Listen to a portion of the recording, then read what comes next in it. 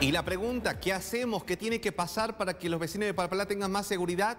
Tenemos en comunicación telefónica al concejal Rubén González. Concejal, ¿qué hacemos para que esto cambie? Porque los vecinos son asaltados, eh, son golpeados violentamente y esto parece no terminarse. Buenas tardes. ¿Qué tal? Buenas tardes, Juan. Un saludo para vos y para toda la audiencia. Este, la verdad que lamentable es poco decirlo, realmente me compadezco de, todas las personas que están sufriendo este, delitos este, en la ciudad de Palpalá, que se ha convertido en una zona liberada. Esto hay que ser claro, Palpalá se convirtió en una zona liberada.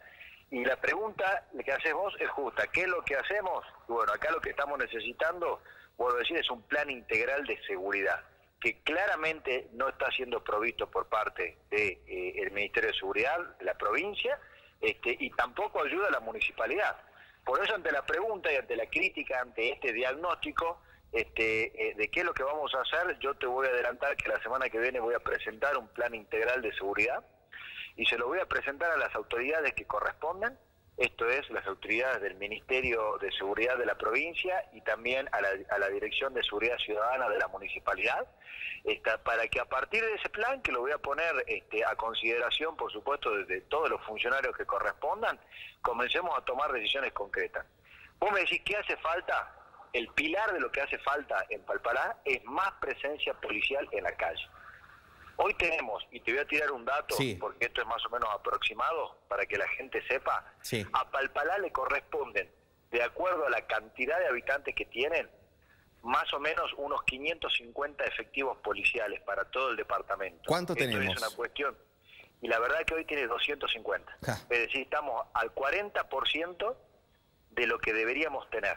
Entonces, es imposible llevar adelante una política este, de seguridad razonable y responsable en nuestro departamento y sobre todo en la ciudad de Palpalá y mucho más en esos barrios, ¿eh? en esos barrios que colindan este, este, también con los de San Salvador de Jujuy, que son una zona liberada muchas veces, si nosotros no tenemos la presencia policial que nos merecemos. Vuelvo a repetirte, esto no es que lo digo yo, lo dicen los libros, lo dicen los licenciados en seguridad. De acuerdo a la cantidad de población que tiene Palpalá, debería haber entre todas las comisarías, es decir, en la unidad regional 8, más de 550 efectivos dispuestos este, a llevar adelante las tareas. Y hoy tenemos 250. Bien, estaremos atentos. Claramente no se puede. Concejal, muy buenas tardes. Estaremos atentos entonces a todas estas declaraciones y todos los proyectos presentados. Muchas gracias. Muchas gracias a vos, un saludo a todos.